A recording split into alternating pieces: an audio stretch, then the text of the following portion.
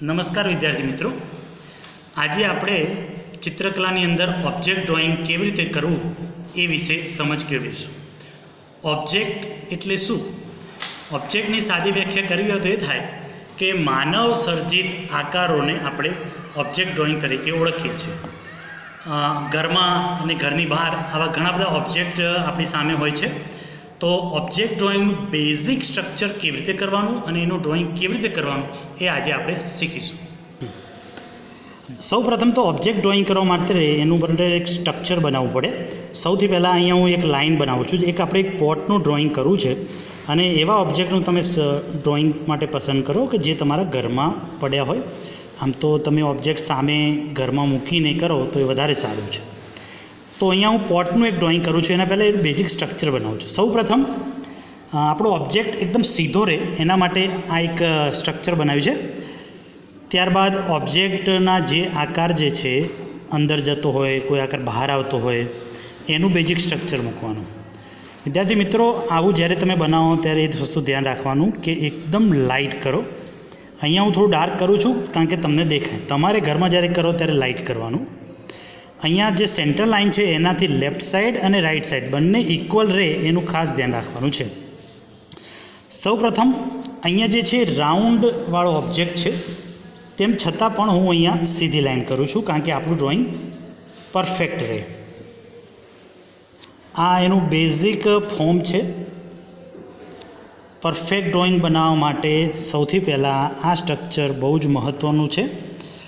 અને એ દોર્યા પછી જ તમે તમારું પરફેક્ટ ડ્રોઈંગ કરી શકો છો. આ વાત થઈ બેઝિક સ્ટ્રક્ચરની હવે આપણે એને રિયાલિસ્ટિક ટચ આપવો છે. સૌ પ્રથમ આજે મેં આકાર બનાવ્યો છે, ચાર ખૂણા છે. વન ટુ થ્રી ફોર એને ટચ થાય એવી રીતે આપણે એક ઓવલ શેપ બનાવીશું. તમે ઈચ્છો તો આને તમે તમારી ડાયરેક્શન મુજબ ગોળ મૂવ કરી શકો છો. અહીંયા મેં આ રીતે કર્યું સેમી સર્કલ તો તમને આ રીતે ફાવે, તો આને આ રીતે પણ લઈ જઈ શકો છો. જેથી ડ્રોઈંગ વધારે પરફેક્ટ બને. અહીંયા જેમ જેમ ડ્રોઈંગ આગળ વધે, તેમ બંને બાજુ ઇક્વલ રહે એ ખાસ ધ્યાન રાખવાનું છે. કારણ કે ઓબ્જેક્ટ ડ્રોઈંગ જ્યારે રાઉન્ડવાળું કોઈ ઓબ્જેક્ટ હોય, તો એની ડાબી અને જમણી બંને બાજુ એક સરખી સમાનતા હોય, એ બહુ જરૂરી છે. આખું ડ્રોઈંગ જ્યારે પરફેક્ટ થઈ જાય, ત્યારબાદ આપણે જે બેઝિક આ લાઈન છે, આ જે લાઈન આપણે કરી હતી, અહીંયા જે લાઈન સ્ટ્રક્ચર બનાવ્યું હતું, એ બધી જ લાઈન તમારે એ રેઝરથી રબ કરી દેવાની, જેથી ડ્રોઈંગ તમારું ડ્રોઈંગ તમારું પરફેક્ટ બને. આ વાત થઈ એક રાઉન્ડ ઓબ્જેક્ટની હવે માનો કે કોઈ સીધું, માનો કે બોક્સ બનાવો છે ક્યુબ તો ક્યુબ માટે આપણે શું કરીશું? કે ભાઈ એક સીધી લાઈન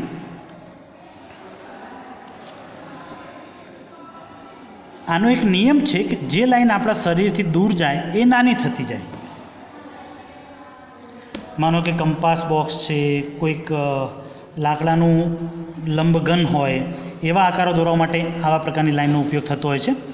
ત્યારબાદ ઊભી જેટલી લાઈનો આવે એ બધી પેપરના સમાંતર એટલે કે સ્ટ્રેટ હોવી જોઈએ.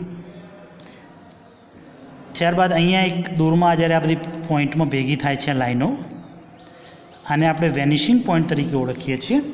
આ લાઈન પણ એ જ પોઈન્ટમાં ભેગી થશે. એવી રીતે આ પણ.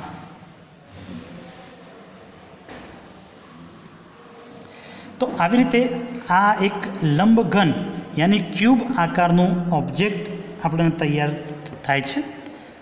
પણ એ જેમ જેમ લાઈન દૂર જાય શરીરથી એમ, એ લાઈન નાની થતી જાય, એ નીતિ નિયમ આધારિત આ ઓબ્જેક્ટ આપણે તૈયાર કરવાનો હોય છે. આવી રીતે તમે જોશો તો એક ક્યુબ બને છે. હવે અહીંયા જે બ્રોકન લાઈન હું કરું છું, જે આપણને દેખાતી નથી, પણ એનું અસ્તિત્વ છે.